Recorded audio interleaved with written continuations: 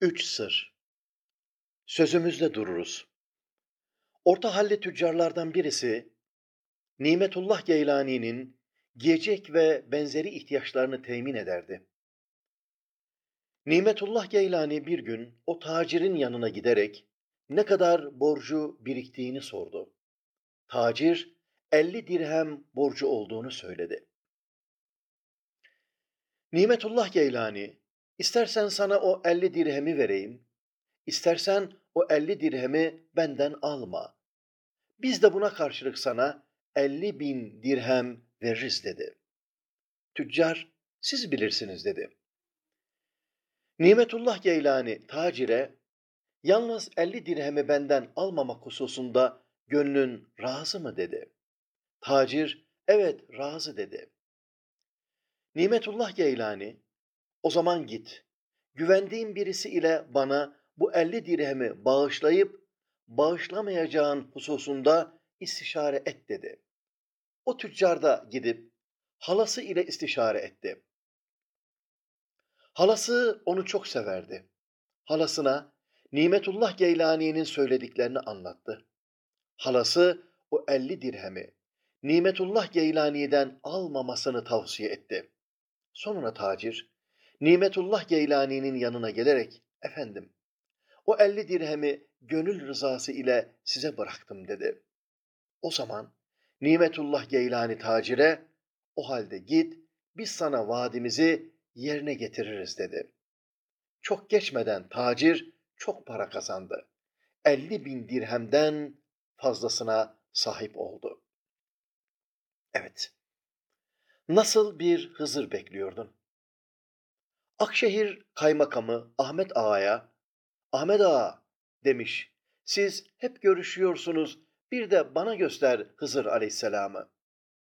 Ahmet Ağa, kaymakamın talebine yuvarlak çerçeveli bir cevap vermiş. Oğlum, nasipse görürsünüz inşallah demiş.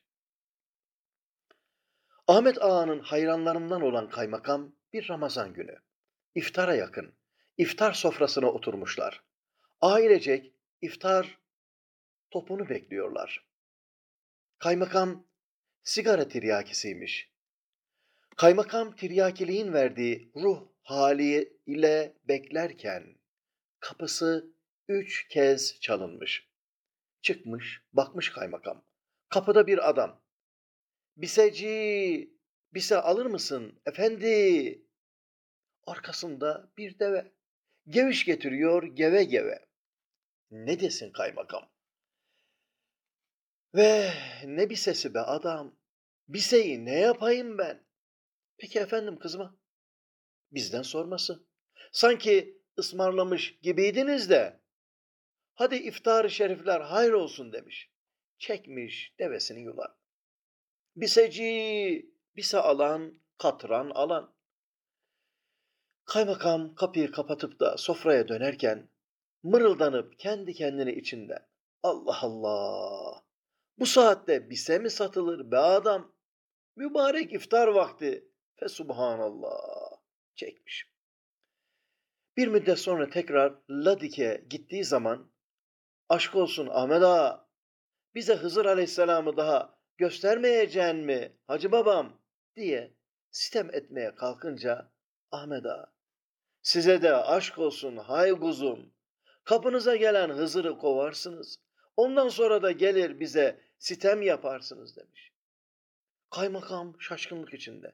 Ne demek o? Ne zaman geldi? Hacı babam diye sorunca Ahmet Ağa. Ramazan'ın son günlerinde siz sofrada beklerken kapınıza bir biseci geldi mi?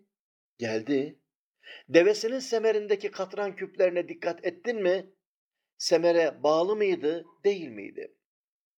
Ben bu tiryaki kafasıyla nereden dikkat edeceğim ona hacı babam? İçeceksen sen iç sigarayı oğlum. Cigara seni içmesin. Hem sen nasıl bir Hızır bekliyordun? Yakası kartlı, kravatlı birini mi bekliyordun? Kolalı, gömlekli, ütülü pantolonlu birini mi bekliyordun? Neyse, gördün işte gayrı. Görmedim diyemezsin. Kaçırdın ama gördün işte yine de demiş ve teselli etmiş kaymakamı. Ahmet Ağa ama kaymakam epey eyvah çekmiş tabii. Evet. Maksadımız altın değildi. Sümbül Efendi'nin sohbetleri ile pişerek, teveccühleri bereketiyle manevi dereceleri kat etti. Pek zeki olan Merkez Efendi, hocasının terbiyesi altında riyazet ve mücahedeler yaparak, yani nefsinin istediklerini yapmayıp, istemediklerini yapmak suretiyle kısa zamanda maneviyatta yüksek derecelerin sahibi oldu. Hocasının kendisine icazet, diploma verdiği sıralarda Aksaray'da Kovacı Dede dergahına hoca tayin edildi. Kısa sürede dergah talebeleriyle dolu taştı. Merkez Efendi'nin namı her tarafa yayıldı.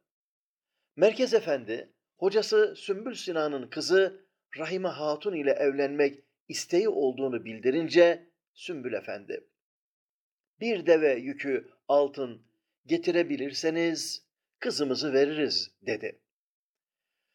Merkez Efendi bir devenin üzerine iki çuval toprak doldurdu. Devenin yularını çekerek Sümbül Efendi'nin kapısına getirdi. Çuvalları kapıda boşalttığında çuvaldan toprak yerine çil çil altınlar döküldü.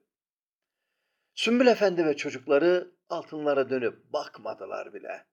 Fakat hocası Merkez Efendi'ye, Ey Musa Efendi! Maksadımız altın değildi. Evdekilerin de derecenin yüksekliğini anlamalarıydı. İmtihanı kazandın buyurdu. Sümbül Efendi çok sevdiği kızı Rahime Hatun'u yine çok sevdiği talebesi Merkez Efendi nikah etti ve evlendirdi. Düğünden birkaç gün sonra Sümbül Efendi kızı Rahime Hatun'un evine gitti. Evde kızı yemek yapıyordu. Fakat ocakta odun yerine parmaklarından çıkan alevle yemeğini pişiriyordu. Kızının bu halini hayretle gören Sümbül Efendi, Rahimecik ne yapıyordun diye sorunca, talebelere çorba pişiriyordum cevabını verdi.